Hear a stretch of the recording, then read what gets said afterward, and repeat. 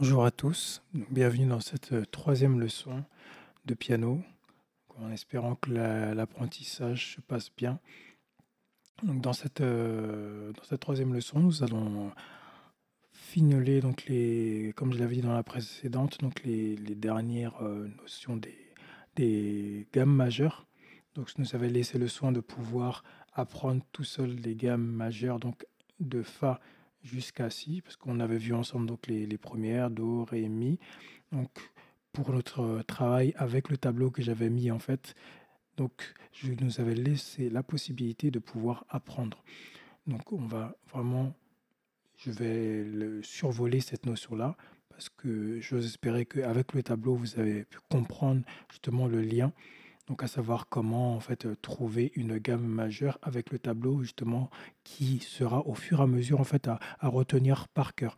C'est avec quelque chose qui sera naturel dans le temps en soi. C'est vrai qu'au début ça peut être abstrait, mais dites-vous qu'avec la pratique, le fait de le relire, de pratiquer en même temps, ben, ça va rentrer au fur et à mesure, ça va rentrer automatiquement. Donc toujours dans le même schéma, donc au niveau de la gamme de, de, de Fa, ici, donc on a le premier degré qui est le Fa. Le deuxième degré qui est le Sol. Le troisième degré qui est le La. Quatrième degré qui est le Si bémol ou la dièse. On se souvient de cette notion-là.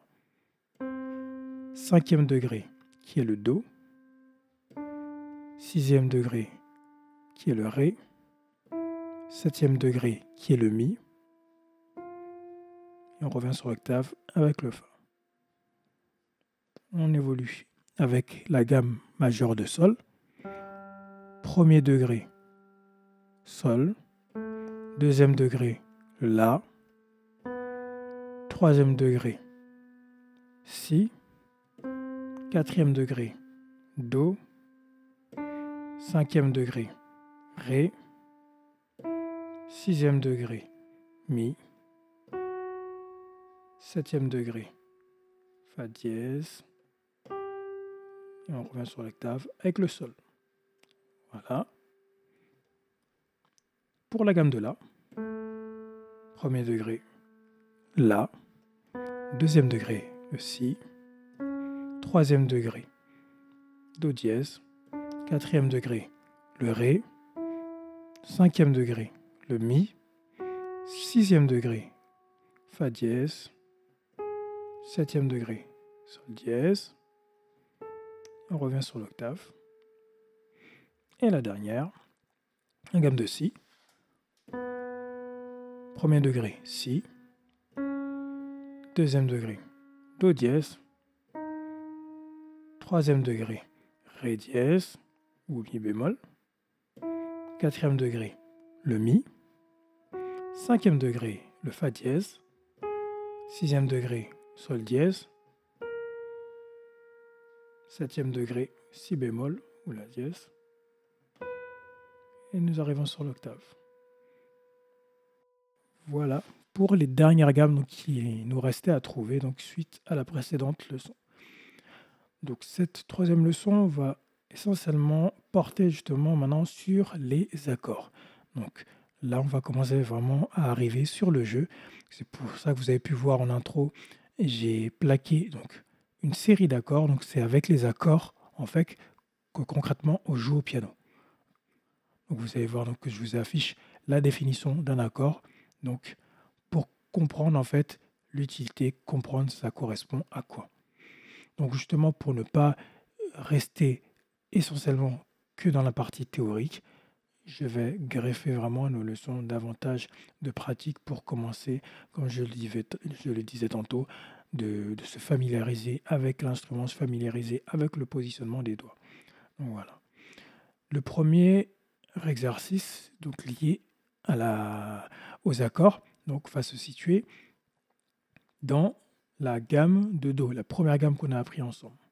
Donc la gamme de Do qui est composée de Do, Ré, Mi, Fa, Sol, La, Si, Do pour mémoire. Voilà. On soit le premier positionnement donc de la main gauche au niveau du piano Donc on va se positionner donc sur l'accord basique, l'accord de base, donc qui est l'accord de Do majeur. Ok Donc, je vais d'abord commencer par le positionnement de ma main gauche. Alors mon petit qui va se positionner donc sur le Do. Mon index qui va se positionner donc sur le sol. Et mon pouce sur le dos. Donc, premier positionnement que je vais vous montrer également pour, euh, euh, la, la, main droite. Donc la main droite va venir en continuité donc de la, de la main gauche avec le positionnement du pouce. Et voilà. Donc vous pouvez le voir au niveau du clavier virtuel, donc les touches qui sont enfoncées. Donc vous avez le Do, le Sol, le Do, Mi, Sol, Do. Donc ça, par définition, c'est l'accord de Do majeur.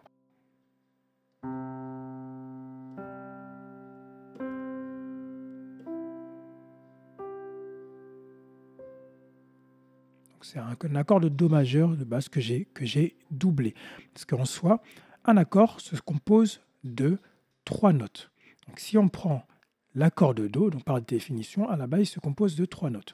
Vous avez la dominante, ce qu'on appelle la dominante, qui se compose du Do. C'est cette première note qui donne l'appellation, donc le nom de l'accord que nous allons faire.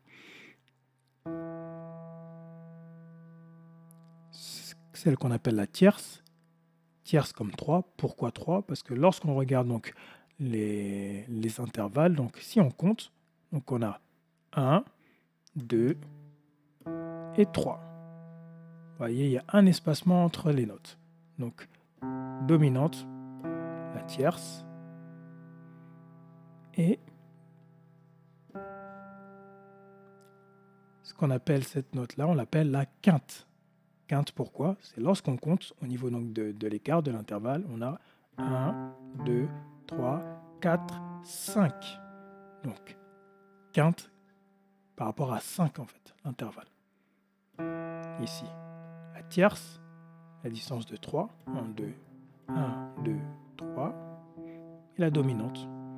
Voilà. Donc l'accord de Do de base se compose, enfin tout accord se compose de trois notes majeur se compose de trois notes.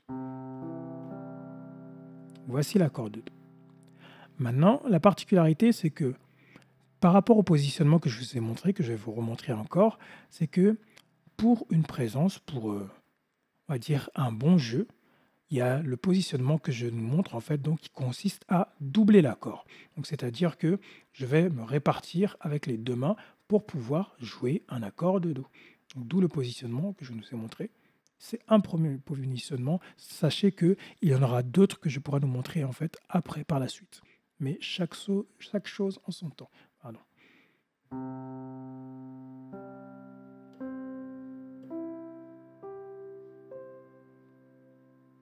Donc vous pouvez voir afficher donc l'accord normal de Do et maintenant vous pouvez voir justement cet accord doublé de Do. Vous voyez bien que donc j'ai mon Do, Regardez. Partie gauche, j'ai un Do, donc Do, Mi, Sol. Et Do, Mi, Sol, Do. Vous voyez, il y a une complémentarité en fait entre mes mains qui fait que j'ai un, j'ai un premier accord de Do et j'ai un deuxième accord de Do qui vient se compléter ici. Voilà. Donc je nous laisse nous positionner les doigts correctement. L'accord de Do. Voilà. Le deuxième accord que je vais nous donner, donc dans la gamme de, de Do toujours, pour, pour, faire la marche, pour pouvoir pratiquer la marche que je nous ai montré tout à l'heure, donc c'est l'accord de Sol majeur.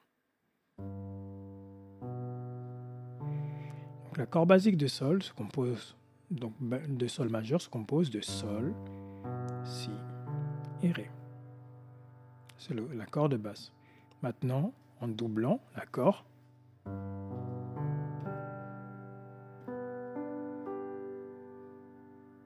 Ou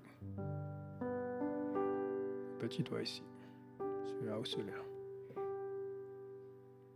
Voilà. Voici donc l'accord de Sol majeur. juste avant, on avait l'accord de. Do.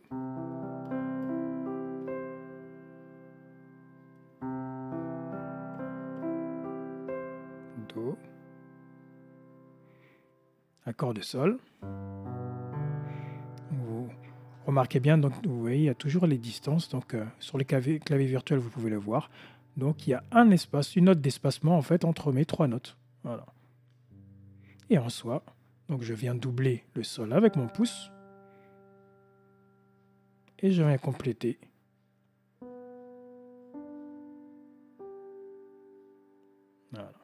En fait, lorsque vous regardez bien ma main droite, c'est comme si ma main droite fait la même chose que la deuxième partie de ma main gauche. Je m'explique. Si je regarde donc ma main gauche qui est ici, on voit donc que j'ai mon sol qui appuie ici. Mais si je la coupe en deux, regardez, on ne regarde pas cette partie-là. J'ai mon doigt qui est ici sur le Si, Ré et Sol. Et lorsqu'on voit dans la suite, regardez, j'ai mon Si, mon Ré et mon Sol. Donc quand on voit en fait le positionnement de ma main droite, c'est comme si c'est la deuxième partie de ma main gauche, comme si ma main gauche était coupée en deux et que ma main droite faisait ce que fait cette partie-là de ma gauche. Allez, j'enlève le là. Voilà, cette partie. Et le positionnement, ça donne ça.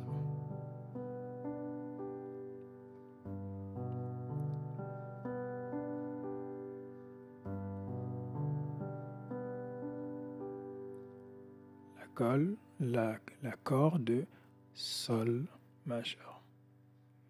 Et le dernier accord, donc, de la marche, qui est l'accord de Fa majeur. Fa. La tierce, nous avons le La. Et la quinte, nous avons le Do. Donc, si on part du principe donc, de ma main droite qui fait la même chose que la deuxième partie de ma main gauche, regardez, ça fait la, Do, Fa. La, Do, Fa. On enchaîne, on enchaîne en tout. Voilà. Fa, La, Do, Fa, La, Do, Fa. C'est qu'une répétition en fait. Voilà. Main gauche qui se complète avec la main droite. Donc récapitulatif. Accord de Do majeur. accord de Sol majeur, accord de Fa majeur,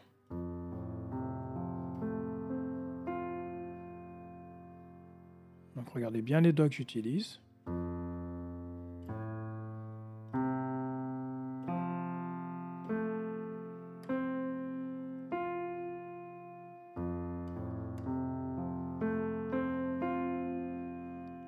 Fois. Accord de Do. L'accord de Do qui est le premier degré de la gamme de Do. Voilà. L'accord de Sol qui est le cinquième degré donc, de la gamme de Do. Et l'accord de Fa majeur qui est le quatrième degré de la gamme de Do. Voilà. Trois accords de base déjà que je viens de vous montrer pour commencer en fait à nous faire un peu pratiquer. Voilà. Combiner donc euh, la partie littérale avec la partie de la pratique. Et donc la marche en soi, donc la marche est donc tout simplement euh, la succession d'accords que je fais, ça va être Do. Donc je plaque, je plaque toutes mes notes en même temps. Donc quand on plaque comme ça, c'est ce qu'on appelle simplement plaquer. On plaque un accord. On appuie toutes les notes ensemble. Plaquage, plaque. Et ce que je nous montrais juste avant, lorsqu'on appuie successivement sur des notes, comme ça, c'est ce qu'on appelle l'arpège. Le fait d'enchaîner les notes une par une, en fait. Le plaquage, l'arpège. Plaquage, arpège. Voilà. Donc la marche, je vais nous la montrer en plaquant. Donc la marche, si je, veux, on va dire, euh, qualifier cette marche-là, je peux la qualifier donc avec les accords en disant que nous allons faire un Do majeur, un Sol majeur, un Fa majeur. Une autre appellation pour pouvoir ben, euh, définir cette marche, c'est que je vais faire le premier degré, le cinquième degré, le quatrième degré.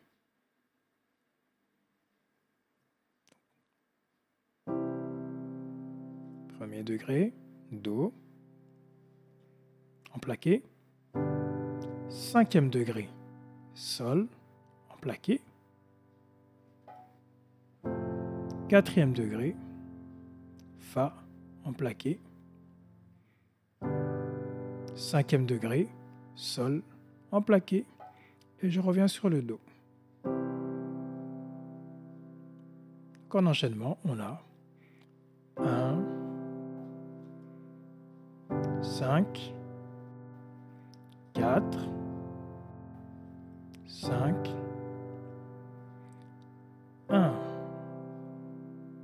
Voilà un petit exercice qui, est pas mal, justement pour le positionnement des, doigts, pour le plaquage donc de, de, ces trois accords donc, qui sont dans la gamme de Do.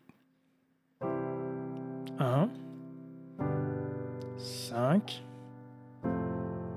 4, 5 et 1. Pour les personnes qui, jouent déjà l'instrument, donc euh, je vais nous montrer une petite variante, parce que c'est vrai que euh, nous commençons des bases du piano pour monter progressivement, mais j'aimerais aussi euh, profiter de, ces cours pour donner des, des, des, petites astuces, des, facilités pour se déplacer, pour euh, enrichir son jeu aux personnes qui jouent déjà d'un instrument. Donc, toujours sur la même base, donc de premier degré, Do, cinquième degré, Sol, quatrième degré, Fa. Donc, la marche, c'est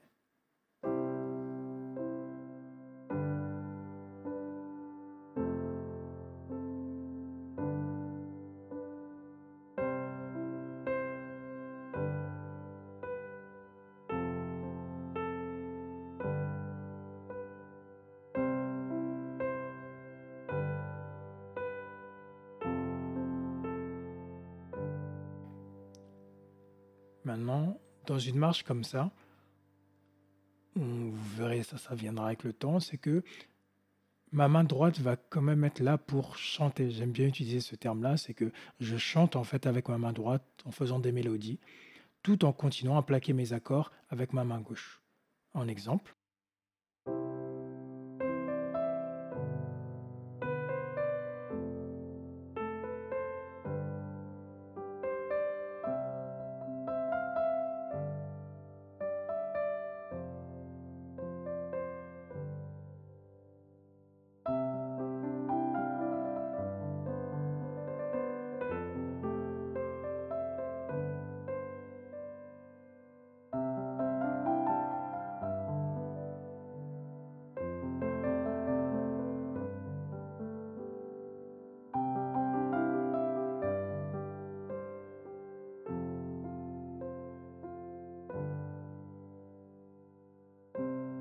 La main droite être là vraiment pour commencer à chanter, créer des mélodies. Ça va venir avec le temps, il n'y a pas de souci.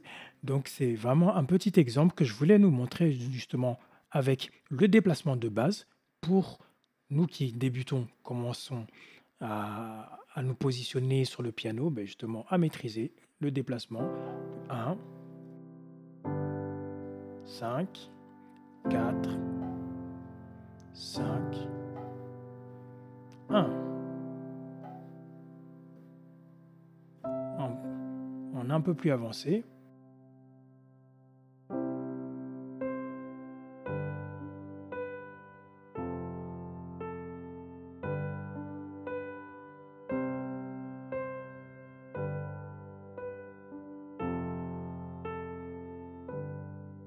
un peu plus chantonnant.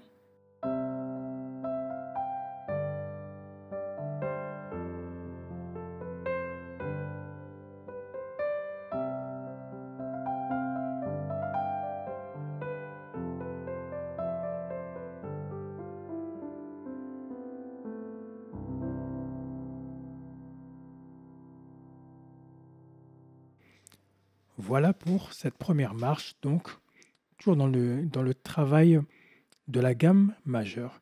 Donc je vais combiner donc en, en, affichant justement les notions littérales, donc couplées donc aux exercices que, nous, euh, que je viens de nous montrer pour une marche qui est simple, donc la marche qui est 1, 5, 4, 5, 1.